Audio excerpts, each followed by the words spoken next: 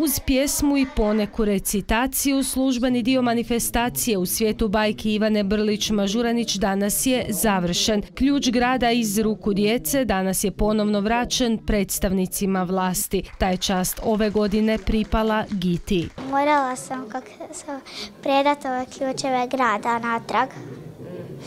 Kako je bilo to, kako je prošlo? Dobro, malo sam se, malo sam se stidjela, ali dobro, dobro je prošlo.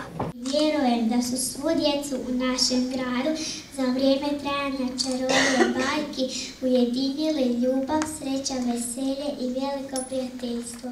Ja kad bi bio gradonačelnik, e, rekao bi da se otključuju priče grada od Ivana Brlić-Mažuranić. Zaista su bili sjajni. Naš brod su još jednom uspješno proveli kroz vode svijeta bajke.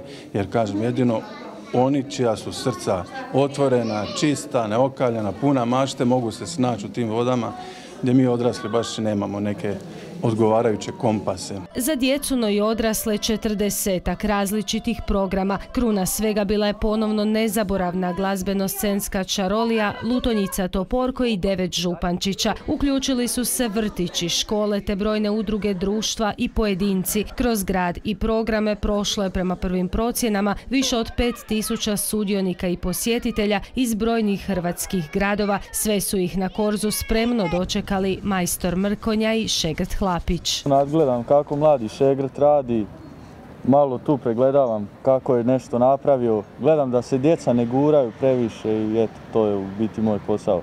Kako su reagirala djeca kad su došle i kad su vas vidjela na korzu?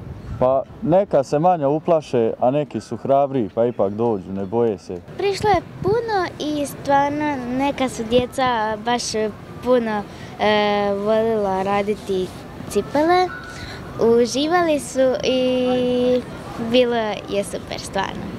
Još je nekoliko programa ostalo do kraja, između ostaloga proslavu Ivaninog rođendana sutra na Korzu organizirat će od 10 sati udruge Brličevac i Lima. Svijet bajki tako polako zatvara svoja vrata, no razloga za tugu nema jer proljeće i lijepo vrijeme tek stižu.